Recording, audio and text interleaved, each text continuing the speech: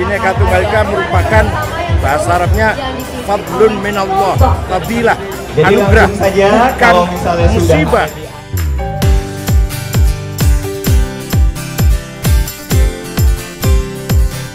Toleransi buat gue gak usah ribut-ribut kali ya.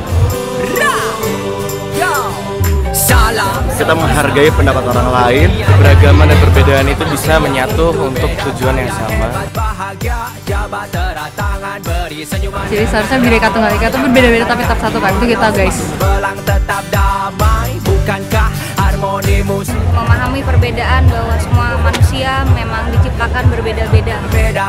bahwa keragaman suku budaya itu Indonesia bersatu.